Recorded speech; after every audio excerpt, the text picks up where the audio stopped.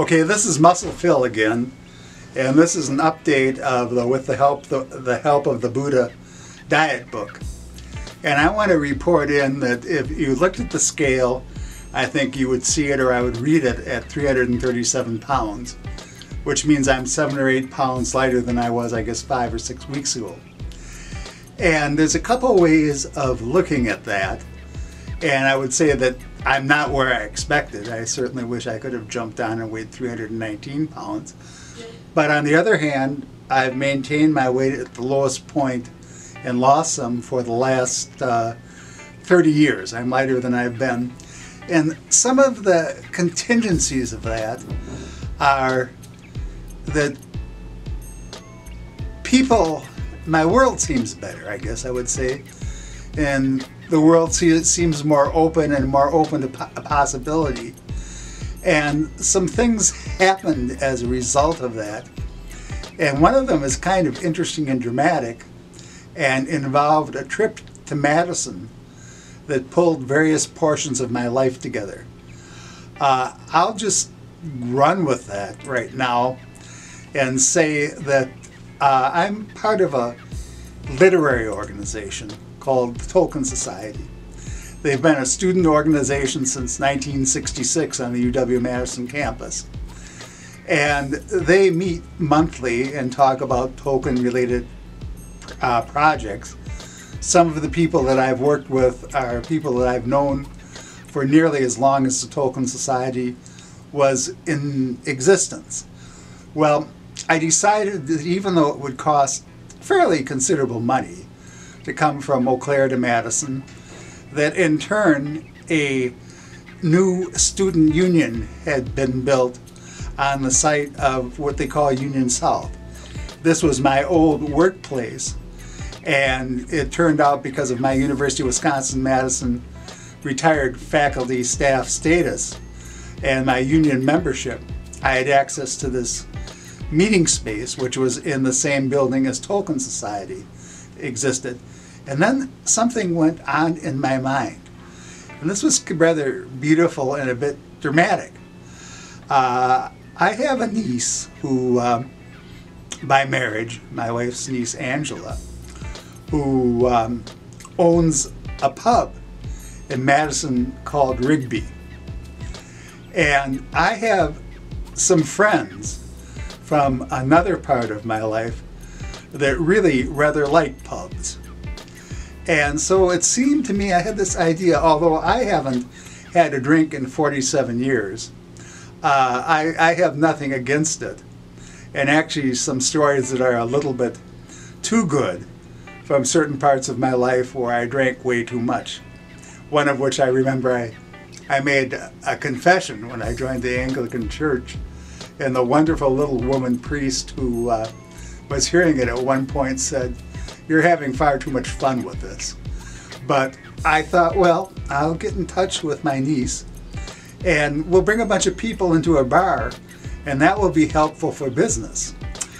And so we did. And I, as I say, we've not talked that much. I've known her through all the stages of her life, from a little bitty girl now to a, a very successful and empowered young woman. And then I thought, and I was talking to her in this pub, Rigby's, which is not far, Rigby, which is not far from where a bookstore that I had an interest in in downtown Madison existed for about 17 years.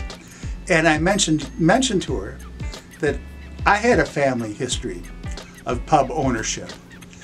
And as a matter of fact, I had a collection of stories. It turns out Tavern of Lost Souls, uh, oh, I guess uh, Fenris Unchained, my play, The Munitions Factory. All of these, all of these literary works have a tavern setting to them, or a pub setting to them. And I also wanted to talk a little bit more about the positive role of this kind of institution in building a humanizing community. Uh, the, the, the place we went into, it was, everybody was friendly. It was like family. My friends and family were there. The food was good. and we had a great time. And that and that's that meant what what that really meant was the stories that I had written about were very dark, negative, and almost postmodern in their construction, especially Tavern of Lost Souls, which was a story about how my mythical grandfather lost his tavern in 1918, right before Prohibition, and I was I was going to co- collect them originally, make a dedication to my niece because it just seemed like the thing to do. But then I'm I'm not so sure now that I want stories that are quite that dark. I have some other stories. Actually, I have I have kind of an academic romance, part of which takes place in a pub, and I have a Viking saga that takes in the mead hall takes place in the mead hall, and maybe I would actually try to bring out a collection that, oh, I don't know, people liked, something like that. They actually wanted to read, where I wasn't. Well, Philip of Trier takes place in, them, in, in a pub too, but stories where I didn't speak to my absolute contempt for my audience, that might be a good thing. So, the I, I'm I'm still on track with this idea and I'm also on track with another venture that's coming up way too soon. But we're working like crazy to get ready with it, my associate and I, Serena. And it's called the Falling Leaves Writers Workshop. One of the things I did in my life is I am a founder of WisCon. WisCon is, or was, the largest feminist science fiction convention in the world. And a little while ago, it became something different. And it became maybe more sectarian, less populistic, and more of a safe harbor for people who felt marginalized in a way where they wanted to be able to perform their identities in a safe space. And I wish them well, and I give them my blessing. But that's not what I want with WisCon. What I want with WisCon is for the spirit to live on, where we make the space for women writers, especially, that are up and coming, that are writing on not pads of paper taped to refrigerators, that are delousing their kids as they're trying to write a paragraph, or or whatever the case might be, but they're turning out the work. That's the kind of spirit I, I have, and I have uh, uh, Bria Bem is one of my guests. She writes. She's a very nice lady, and she writes stories about wolves, kind of postmodern, dystopian wolf stories and she's got a book about zombie trick or treat or something like that. And it's a Halloween anthology about zombies. And it's really the first thing I've ever read about zombies. But now I'm in a project in one of my courses where I'm talking about the role of indigenous Haitian re- religion in the Haitian war against the French for their independence about the same time as mine. So it's a way that we're going to make a space and we're going to link. We're going to talk about some of the technical aspects of publishing and how we can work together because each of us might have a bit of information which is absolutely useful to the other person. And when we get done with the exchange, we're all better for it.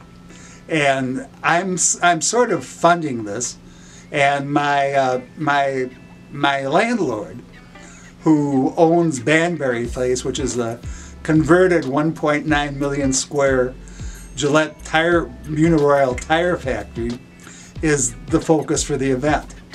And so we're gonna. I might have one more report on this before we do it, and I'll definitely have a report afterwards. But it's the kind of thing I want to see done. I want academic participation in it. I want community participation and I want to be in control of it. I, I find that there's probably something wrong with modern publishing in a sense that the acquisitions editors have too much to do. they have huge piles of manuscripts, and you find things to eliminate stuff for because you have to, but in the process of doing that, things get missed.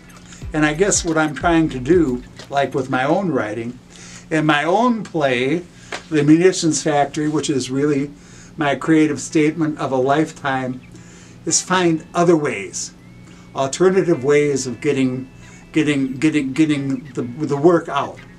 Where I, I are people who have read this play, people from very differing backgrounds, uh, compare it pretty well to some stuff done by major playwrights. But how do I get to the point of getting production resources where I can make this in a video format? Well, I'm not sure exactly, but maybe somebody has an idea. Maybe somebody finds a funding funder for me. But so, something happens, and I know if I sit and I don't communicate, if I sit by myself and brood, uh, nothing's going to happen.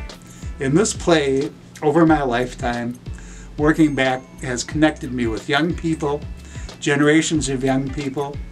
The two people who did the original transcription, and I dictated this play because I'm dyslexic and my handwriting was unintelligible and my typing was much worse. Well, they're two, they're passed away now, and the play sort of goes on, and I'm now in the point of trying to find a marketing strategy, a way to reach out. And I, I've done enough test performance to it that I know it is, it's a little like the movie Dunkirk. It's available, it's accessible to young audiences because it takes what happens in history and it makes it real. It holds your attention.